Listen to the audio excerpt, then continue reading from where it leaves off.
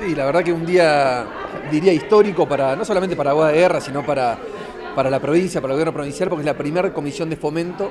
que tiene la posibilidad y la oportunidad de poder acceder al programa Regional Sur Urbano.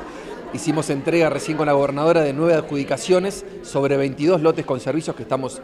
ya construyendo las obras para poder dotar con servicios esos lotes para que estas familias puedan construir su vivienda propia y, desarrollarse, sobre todo acá en Aguada de Guerra, que sabemos que no solamente la necesidad de lotes con servicios está en las grandes ciudades, sino que también está en las ciudades chicas. Y como bien lo decíamos hace un rato, para este gobierno provincial, para este proyecto político, no hay ciudades más importantes que otras, no hay ciudadanos de primero o de segunda, sino que son todos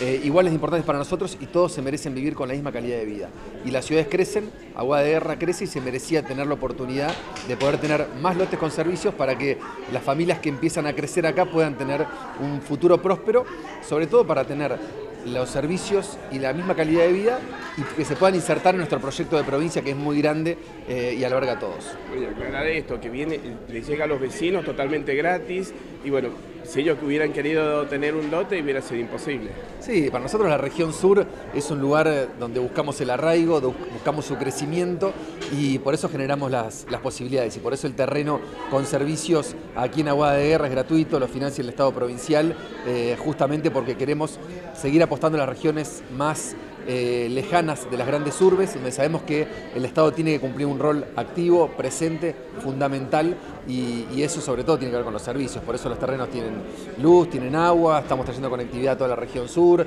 eh, estamos trabajando fuertemente para que el gobierno nacional termine la ruta 23 y que Aguada de Guerra, que está sobre la 23 sobre todo toda la región, en función también del proyecto de hidrógeno verde, tenga un desarrollo muy grande y podamos generar trabajo, que es nuestro principal anhelo.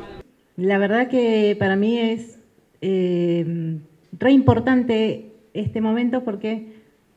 puedo ayudar a la gente que necesita su vivienda a que empiece a soñar con su casa propia, que es tan necesario, porque conozco las realidades de cada uno y la re necesitan. Eh, hoy son nueve de 22, así que este es el comienzo para seguir trabajando eh, y con el compromiso de que cada uno pueda tener eh, un lugar en condiciones para sus hijos y para poder compartir con toda su familia.